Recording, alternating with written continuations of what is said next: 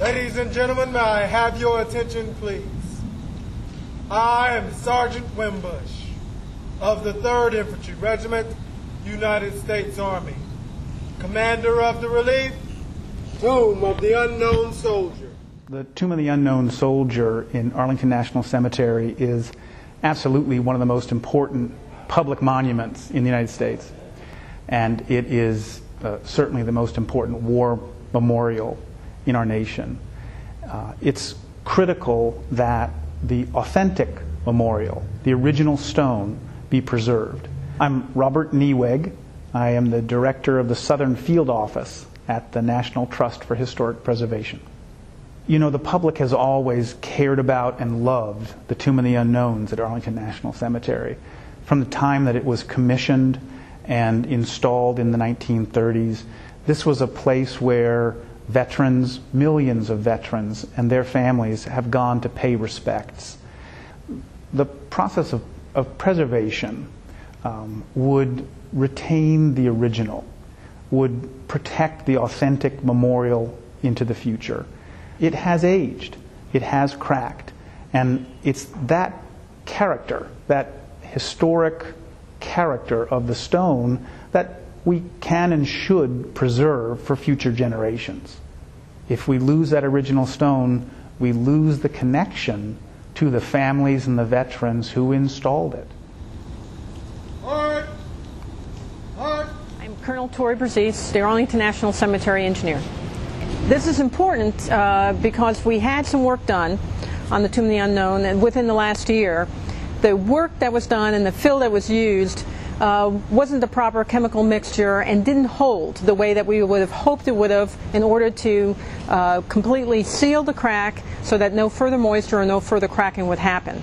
So now uh, we've brought back uh, the contractor as well as we've invited a host of experts to help us do this the right way. And it's important that we do it during the month of September uh, because it provides us the right temperatures in terms of the weather and in terms of the marble temperature itself. This is the nation's uh, uh, grave site, and the, the vision for it is for us to preserve it as long as we can in the original state that it is in. We want to get into a habit of maintaining what we've been entrusted with, not just getting to the point of of the catastrophic failure before we do something. And that's a mindset that we're changing here, is that we've got to keep things on a maintenance schedule, and that includes the Tomb of the Unknown Soldier.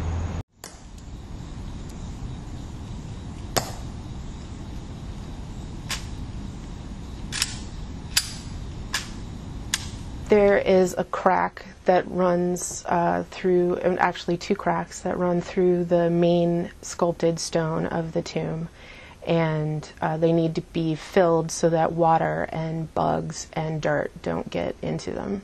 Uh, my name is Amy Hollis, and I'm the conservator for Worcester Eisenbrandt.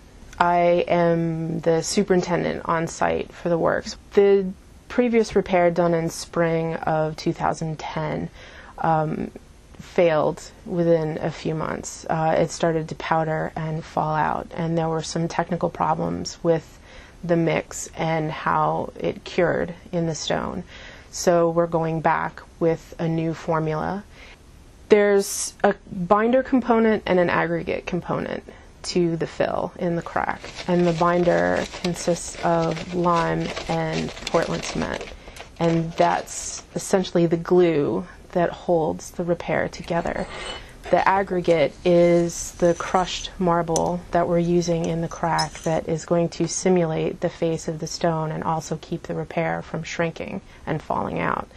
Using, using a crushed marble aggregate is going to act like the stone that's already there and you're going to be able to see it. The light will play off of it a lot like the the stone that that's there. This stone actually is in really good shape except for the crack. This particular crack is kind of an anomaly in this stone, and it's not known exactly how this crack came about, but there's a theory that it's from shocks during quarrying or transportation or sculpting or something like that. One challenge is that it's outside. It's not like an object that you can bring inside and treat in the shop or in the lab. Um, you've got to work with the elements. And uh, we are working at night because uh, because of the visitor experience during the day at Arlington Cemetery.